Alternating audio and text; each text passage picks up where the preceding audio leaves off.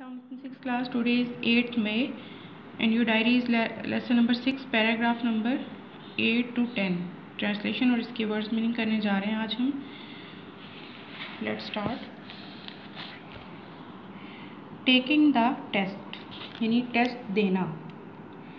You you know know, test के लिए test देने के लिए टेक का वर्ड यूज़ होता है।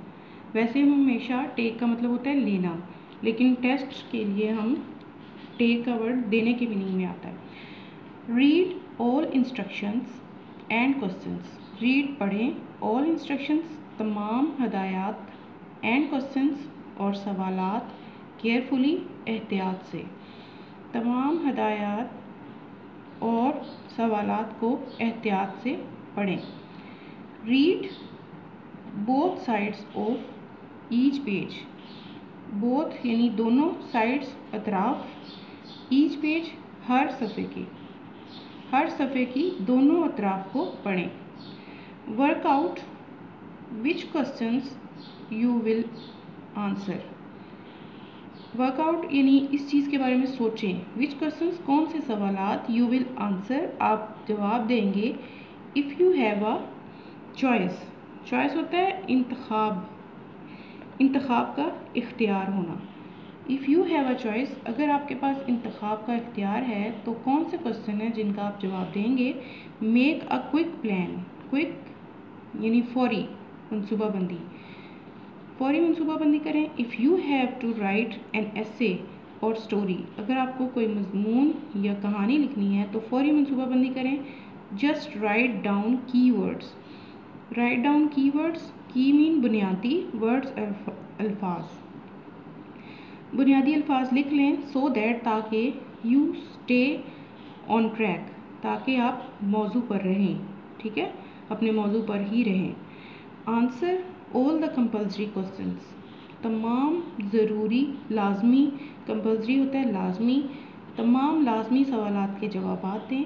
The one you have to answer जिनको, जिनके आपने जवाब देने हैं।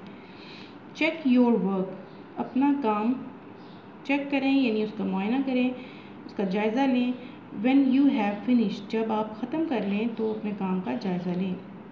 स्टार्टिंग विद द इंस्ट्रक्शंस हदायत से शुरू करें। To make sure to make sure यकीनी बनाने के लिए यू डिड कि आपने किया।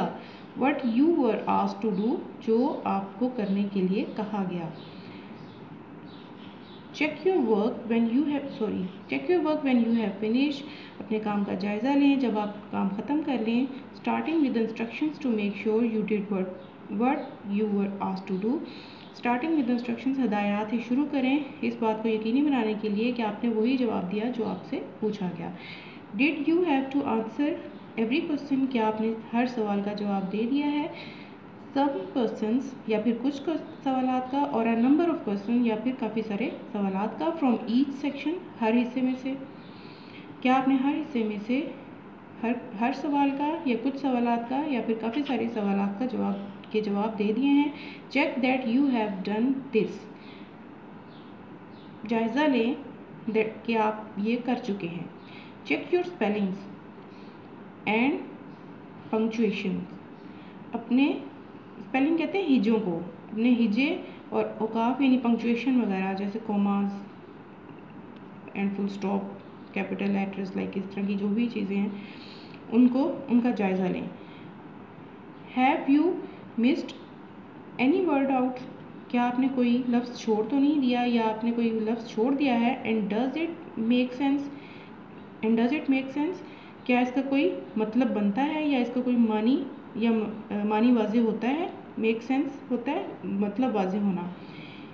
इफ़ यू फिनिश अर्ली अगर आप जल्दी ख़त्म कर लेते हैं give yourself a few minutes अपने आप को चंद मिनट दें टू रिलैक्स आराम करने के लिए। खुद को आराम करने के लिए कुछ मिनट दें then start checking your work फिर अपना काम, अपने काम का जायज़ा लेना शुरू करें। इफ़ यू फिनिश अर्ली अगर आप जल्दी ख़त्म कर लेते हैं give yourself a few minutes to relax अपने आप को चंद मिनट दें, अपने आप को आराम दे आराम करने के लिए चंद मिनट दें then start checking your work फिर अपने काम का जायज़ा लेना शुरू करें। Okay this is your lesson today thank you